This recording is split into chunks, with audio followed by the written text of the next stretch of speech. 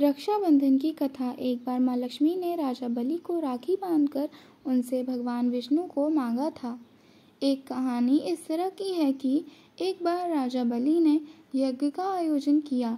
तब उनकी परीक्षा लेने के लिए भगवान विष्णु वामन अवतार लेकर वहाँ आए और दानवीर राजा बलि से तीन पग भूमि मांग ली।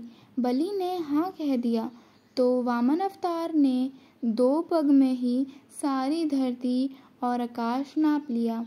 राजा बलि समझ गए कि भगवान विष्णु स्वयं उनकी परीक्षा ले रहे हैं। तीसरा पग रखने के लिए उन्होंने भगवान के सामने अपना सिर आगे कर दिया। फिर उन्होंने भगवान से याचना की कि अब तो मेरा सब कुछ चला ही गया है। प्रभु, आप मेरी विनती स्वीकारें और मेरे साथ पाताल में चलकर रहें। भगवान को भगवान को भी भक्त की बात माननी पड़ी और विष्णु जी बैकुंठ छोड़कर पाताल चले गए। जब देवी लक्ष्मी को यह पता चला तो वह गरीब महिला का रूप धारण कर कर बलि के पास पहुँची और राजा बलि को राखी बाँध दी।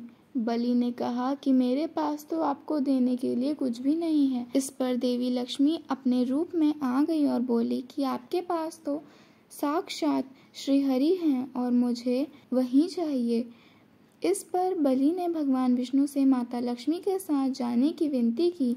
तब जाते वक्त भगवान विष्णु ने राजा बलि को वरदान दिया कि वह हर साल चार महीने पाताल में ही निवास करेंगे। यह चार महीने चतुर्मास के रूप में जाने जाते हैं। वीडियो पसंद आए तो वीडियो को लाइक, शेयर और चैनल को सब्सक्राइब करना ना भूलें। धन्यवाद।